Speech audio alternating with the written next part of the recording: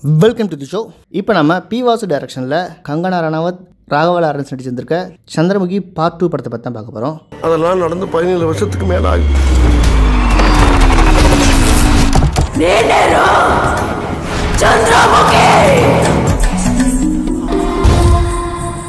Chandramukhi part two இந்த படத்தோட ட்ரெய்லரும் நல்லா இல்லை. படத்தில் வர பாட்டும் ஃபஸ்ட் பார்ட் அளவுக்கு இல்லைனாலும் பரவாயில்ல. ஏதோ ஒரு அட்டென்ஷன் சீக்கிரம் இருக்கான்னு பார்த்தா அதுவும் இல்லை. அவுடேட்டடான பழைய பஞ்சாங்கம் பேசுகிற பிவாஸ் வர டேரக்டர் பத்தாத்துக்கு ரஜினி கேரக்டரில் ராகவா லாரன்ஸே வருவார்.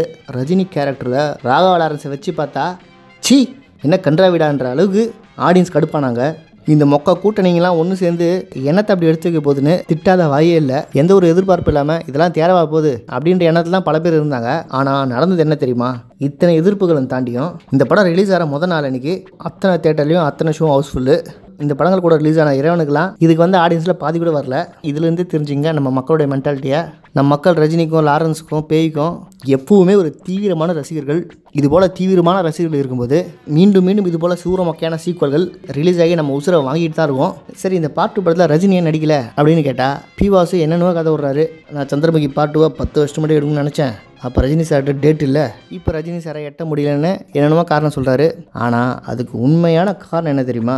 ரஜினிக்கு கடவுள் பக்தி ஜாதகம் ஜோசியம் எல்லாம் மிகப்பெரிய அளவுக்கு நம்பிக்கை இருக்குது இந்திரன் ஃபஸ்ட் பார்ட் முடிஞ்சதுக்கப்புறம் சந்திரமுகி பாட்டு தான் ரஜினி நடிக்கிற மாதிரி இருந்தார். ஆனால் சந்திரமுகி படத்துக்குள்ளே இருக்க மர்மத்தை விட சந்திரமுகி படத்துக்கு வெளியே நிஜத்திலேயே ஒரு மர்மம் ஒளிஞ்சிக்கிட்டு இருக்கு. ரஜினி எப்பேற்பட்ட பிரில்லியன்ட் எதனால் இண்டஸ்ட்ரியில் இது வரைக்கும் நம்பர் ஒன்னாக இருக்காருன்றதுக்கு இதை நீங்கள் சரியான உதாரணத்துக்கு எடுத்துக்கலாம்.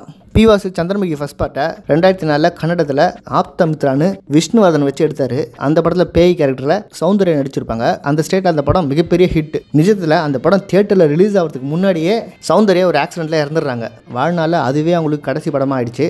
என்னதான் அந்த படம் மிகப்பெரிய பேரும் எடுத்து கொடுத்தாலும் அதெல்லாம் பார்க்க அவங்க உயிரிடவே இல்லை. இந்த பாயிண்ட் ரஜினிக்கு முத பாட்டிலே உறுத்திட்டு தான் இருந்தது. சரி ஒரு ரிஸ்க் எடுத்து பார்ப்போம். செத்தா ஜோதிகா தானே சாகணும்? நமக்கு என்ன இருக்குன்னு நடிச்சு விட்டாரு. ஆனால் பிவாசு கன்னடத்தில் சந்திரமுகி பார்ட் டூவை ஆப்த ரக்ஷன் ஒன்று எடுத்தார். அதே விஷ்ணுவர்தன் தான் ஹீரோ அதேமாரி படம் தேட்டரில் ரிலீஸ் ஆகிறதுக்கு கொஞ்ச நாள் முன்னாடியே விஷ்ணுவர்தன் திடீர்னு இறந்துட்டாரு. கன்னடத்தில் மிகப்பெரிய ஆக்ஷன் ஹீரோ அவர். அறுபது வயசு கூட ஆகலை. ஆனால் அவர் கதையும் முடிஞ்சுது. இந்த இடத்துல தான் உஷாரானார் ரஜினி. சந்திரமுகி படத்துக்குள்ளே இருக்க பேய் கதையை விட நிஜத்தில் இதோட பின்னணியில் எங்கேயோ காவு நடக்குதுன்னு ரஜினி உஷாராயிட்டாரு. படத்துலேருந்து பேக் வாங்கிட்டாரு. அதுக்கப்புறம் பி வாசு என்ன மாதிரியான ஸ்க்ரீன் ப்ளே மாற்றி சொன்னாலும் வேணே வேணா நீ கிட்டே வராத. ஒருவேளை சந்திரமுகி பாட்டோட ரஜினி நடிச்சிருந்தா விஷ்ணுவர்தன் கதையாக கூட ரஜினிக்கு மாறி இருக்க வாய்ப்பு உண்டு.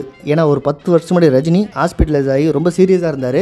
பல்லாயிரக்கணக்கான மக்கள் மண் சாதம்லாம் சாப்பிட்டு ஏகப்பட்ட பிரார்த்தனை பண்ணி கிட்னியெல்லாம் மாற்றி எப்படியோ தேத்தி கூட்டு வந்து வச்சுருந்தாங்க. கிட்டத்தட்ட அவர் இருக்கிறதே இப்போ ஒரு ரெண்டாவது இன்னிங்ஸ் தான். கடவுள் அவருக்கு இன்னொரு வாழ்க்கை கொடுத்த மாதிரி தான் வாழ்ந்துகிட்டு இருக்காரு. அப்படி என்ன இந்த சந்திரமுகியில் இருக்குது கதை ஒன்றும் பெருசாக சொல்லிக்கிற அளவுக்கு இல்லை. அதனால ரஜினி நடிச்சிருக்க மாட்டாருன்னு பல பேர் நினைக்கலாம். ரஜினியை பொறுத்த வரைக்கும் கதைக்குள்ளே வந்தாருன்னா அவரே தனக்கான திரைக்கதை அமைச்சிப்பார் குவாலிட்டியில் காம்ப்ரமைஸ் ஆக மாட்டார். டெக்னிக்கலாக படம் ரொம்ப ஸ்ட்ராங்காக இருந்திருக்கும். இன்றைக்கி சந்திரமுகி டூ எப்படி திராவையாக வந்திருக்கோ அந்த மாதிரி கேவலமான அவுட்புட்டை நிச்சயம் வரவிட மாட்டார். அப்புறம் இன்னொரு முக்கியமான விஷயம் இன்னைக்கு இருக்க யங்ஸ்டர்ஸ் இந்த படத்தை போய் பார்க்கும்போது கிட்டத்தட்ட பாதி பேருக்கு மேலே குறை தான் சொல்கிறாங்க இன்னமும் சந்திரமுகி ஃபர்ஸ்ட் பார்ட் எல்லாருக்கும் பிடிச்ச ஒரு பிளாக் பஸ்டர் படம் அப்படின்னு நினச்சிட்டு இருக்காங்க. ஆனால் உண்மையிலேயே அந்த காலகட்டத்தில் தேட்டரில் அந்த படத்தை போய் பார்த்த ரஜினி ரசிகனாக இருந்தாலும் சரி ஜென்ரல் ஆடியன்ஸாக இருந்தாலும் சரி அவங்க அந்த காலகட்டத்தில் என்ன சொன்னாங்க தெரியுமா? பரவாயில்ல படத்தை ஒரு தடவை பார்க்கலாம். ரஜினி கிளைமேக்ஸில் எப்படி பேய ஏமாத்தினாரோ அதே மாதிரி நம்மளையும் தான் ஏமாற்றிட்டாரு இருந்தாலும் இந்த ரகசியத்தை யாரும் வெளியே சொல்லாதீங்க. ஏற்கனவே பாபா படம் பெரிய ஃப்ளாப் ஆகி தலைவர் மீள முடியாத துயரத்தில் இருக்காரு. இந்த படத்தை குறை சொல்லி ஃப்ளாப் ஆகி நிச்சயம் தலைவரை கவுத்துறவே கூடாது அப்படின்ற எண்ணம் அந்த காலகட்டத்தில் பல பேருக்கு இருந்தது.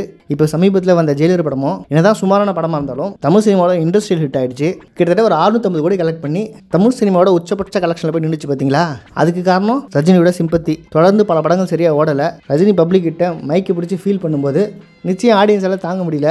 இப்பேற்பட்ட படங்கள்லாம் கொடுத்தவர் அவர் இந்த தடவை மண்ணை கவு விடக்கூடாது. என்னதான் படம் சுமாராக இருந்தாலும் ஒன்றுக்கு ரெண்டு தடவை போய் பார்த்து படத்தை ஹிட்டாக்கே தீரணுன்ற எண்ணம் வந்ததாலேயே மாபெரும் கூட்டம் ஜெயிலருக்கு வந்து கலெக்ஷன் பாயிண்ட் ஆஃப்ல எங்கேயே போய் நின்றுச்சு பார்த்தீங்களா இந்த மேஜிக்கை பதினெட்டு வருஷத்துக்கு முன்னாடியே ரஜினி சந்திரமுகியில் பண்ணார். உண்மையிலேயே அந்த காலகட்டத்தில் சந்திரமுகி வந்தது மிக்சடு ரிவ்யூ தான். ஆனால் படம் கலெக்ஷன் பாயிண்ட் ஆஃப்ல பெரிய பிளாக் பஸ்டர் ஹிட்டு பத்தாத்துக்கு சன் டிவியில் அந்த படத்தை போட்டதுக்கப்புறம் எப்போ டிவியில் போட்டாலும் டிஆர்பி ரேட்டிங் ரொம்ப ஸ்ட்ராங்காக இருக்கும்.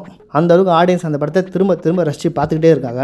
அதுக்கு முக்கியமான காரணம் ரஜினியோட கேரக்டர் தாண்டியும் அந்த படத்தை ரசித்து பார்க்குற அளவுக்கு பல விஷயங்கள் அதுக்குள்ளே இருந்தது. குறிப்பாக யாருமே எதிர்பார்க்காத பிரபுவோட கங்கா காமெடிலாம் பெரிய அளவுக்கு ஒர்க் அவுட் ஆச்சு அப்போ. இன்னமும் அது மீன் மெட்டீரியலாக இருக்குது எல்லாரும் தன்னுடைய பெஸ்ட்டை கொடுத்தே ஆகணும். மிகப்பெரிய ஹிட் அடிச்சே ஆகணும் அப்படின்ற ஒரே நோக்கத்தோடு எடுக்கப்பட்ட படம் தான் சந்திரமுகி ஃபஸ்ட் பார்ட் அவங்க நினச்ச மாதிரி அந்த படம் அந்த நல்ல பேரையும் பணத்தையும் வாரி கூச்சுது.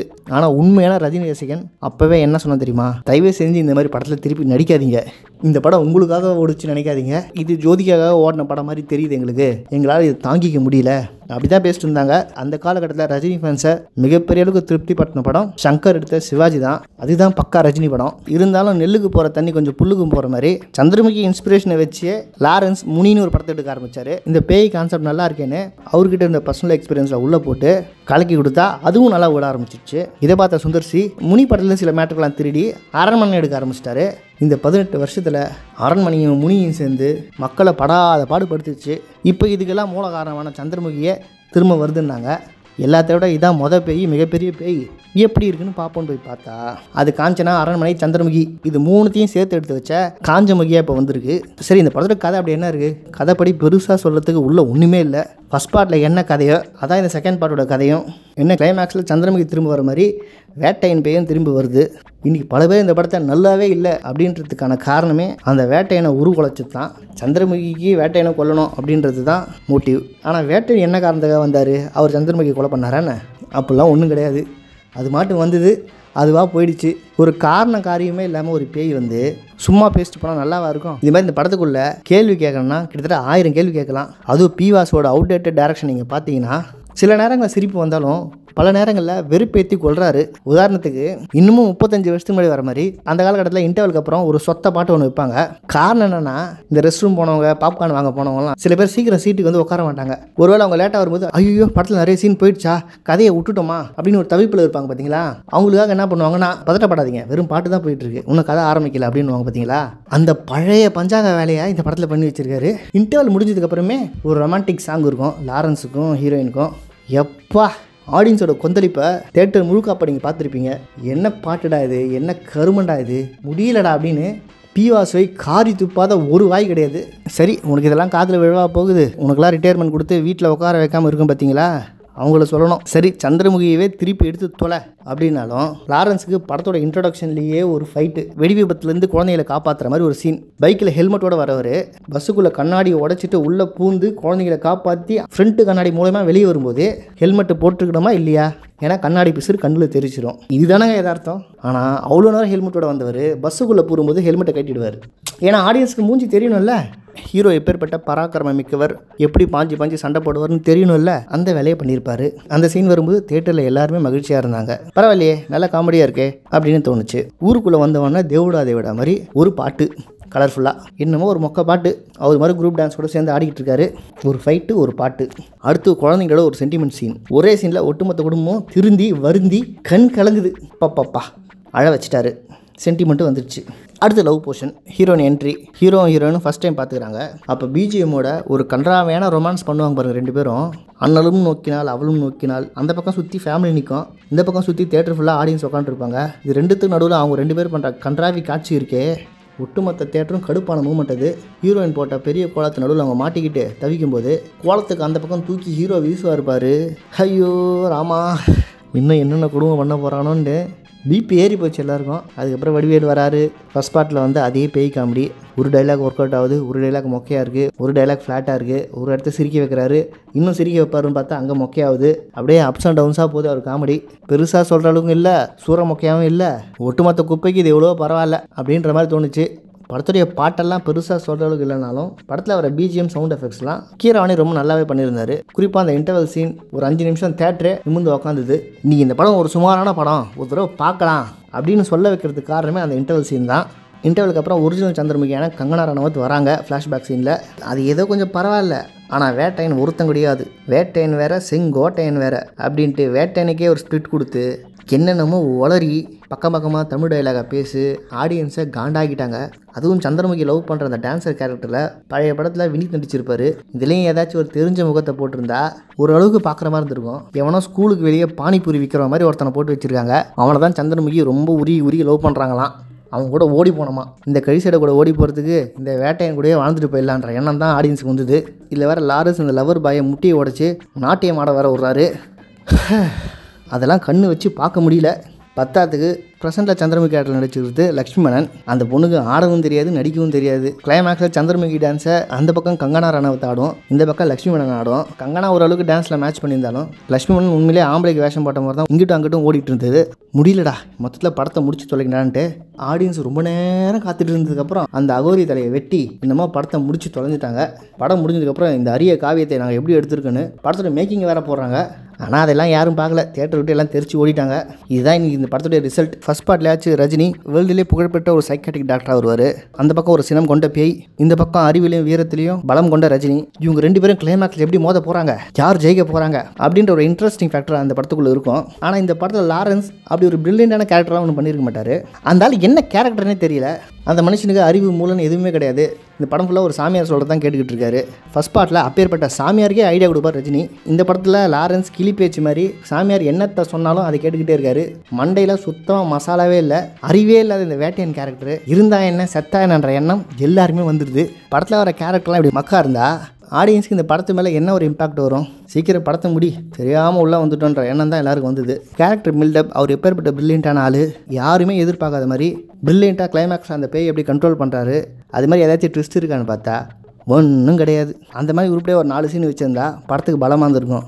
மொக்க இன்ட்ரோ ஃபைட்டு மொக்க பாட்டு மொக்க சென்டிமெண்ட் டைலாகு கன்றாவியான ஃப்ளாஷ்பேக்கு ஃப்ளாஷ்பேக் வரும்போதெல்லாம் ஒரு சீன் ஒரு ஷாட் கூட இன்ட்ரெஸ்ட்டாக இருக்காது ஹீரோக்கு என்னடா இப்படி சொல்ல நினைக்காதீங்க. நீங்கள் பாருங்கள் ஸ்க்ரீனில் லாரன்ஸ் சிரிக்கும் போதெல்லாம் நமக்கு ஆத்திரமாக வரும். அதுவும் லக்கலக்கெல்லாம் சொல்லும்போது போதும்டா. போதும். ரஜினியோட நல்ல பேருக்கும் நீ உண்மையாக வெளியே நாலு பேருக்கு பண்ணுற நல்லதுக்காகவும் இவ்வளோ தான் ஏன் பொறுக்க முடியும். என்னப்பா இந்த படத்தை பற்றி இவ்வளோ குறை சொல்கிற அப்போ படம் ஃப்ளாப்பா அப்படின்னு கேட்டிங்கன்னா அதுக்கெல்லாம் வாய்ப்பே இல்லை. இந்த படம் பிஎன்சி சென்டரில் நிச்சயம் ஓரளவுக்கு ஓடி கலெக்ஷன் பாயிண்ட் ஆஃப்ல நல்ல பேர் தான் எடுக்கும். அதுவும் குறிப்பாக இந்த படத்தை டிவியில் போடும்போது பாருங்கள் வீட்டில் இருக்க தாத்தா பாட்டிலாம் வாயை பொழுந்து பார்ப்பாங்க. ஏமா இந்த படத்தை பார்க்குறேன் அப்படின்னு நம்ம கேட்டால் இந்த படத்துக்கு என்னடா குறைச்சது நல்லா தான் இருக்குன்னு நம்ம கொமட்டிலே குத்த வருவாங்க ஸோ அந்த ஏரியாவில் நிச்சயம் பிவாசி ஜெயிக்க தான் போகிறாரு நமக்கு அப்போ தோணும் இந்த படத்தை எவ்வளோ திட்டணும் என்னடா நம்ம இவ்வளோ கலாச்சம் இந்த படத்தை? ஆனால் ஃபேமிலி ஆடியன்ஸ் இப்படி ரசிக்கிறாங்க. ரொம்ப ஆச்சரியமாக இருக்கே. அது போன்ற வியப்பை ஏற்படுத்தலாம். ஏன்னா இந்த சந்திரமுகி பார்ட் டூ உண்மையான குடும்பங்கள் கொண்டாடும் வெற்றி. படத்தில் பாட்டு இருக்கி ஃபைட் இருக்கி எமோஷன் இருக்கி சென்டிமெண்ட் இருக்கி ட்விஸ்ட் இருக்கி எல்லாம் இருக்கி. ஸோ தில்லு இருந்தால் இந்த படத்தை போய் பாருங்கள் ஏதோ ஒன்று சிரிப்போ வெறுப்போ இந்த படம் எதையோ ஒன்று ஏற்படுத்துது இல்லை அந்த விதத்தில் இந்த படம் ஒரு வெற்றி படம் தான் இந்த படத்துக்கு நூறு மார்க் எவ்வளோ கொடுக்கலாம்னா சந்திரமுகி பார்ட் டூ அந்த டைட்டிலுக்காகவே இந்த படத்துக்கு ஒரு அறுபது மார்க் தாராளமாக கொடுக்கலாம். அதை தவிர்த்து இந்த படத்துக்குள்ள ப்ளஸ்ன்னு பார்த்தீங்கன்னா யாருமே தன்னுடைய வேலையை சரியாகவே செய்யல. வியாபாரத்துக்காக மீண்டும் எடுக்கப்பட்ட ஒரு பருத்தி மூட்டை. அடுத்த படத்தில் சந்திப்போம். இதுல. ஆமாண்ணே. ஒரே குத்து மூக்குல ரத்தம் வந்துடும் டேய் விஷத்திலே பிறந்து வளர்ந்தவீடா நாங்க அண்ணே இதெல்லாம் நல்லா இல்ல. என் விஷத்தையே குடிச்சிட்டு என்னையே திட்டுறீங்க. இது நல்லா இல்லண்ணே. டேய், எல்லாம் பார்க்கறத கடைஞ்சிட்டு அமிர்தத்தையா கொடுத்துட்டு பாறையில போட வைக்கிறா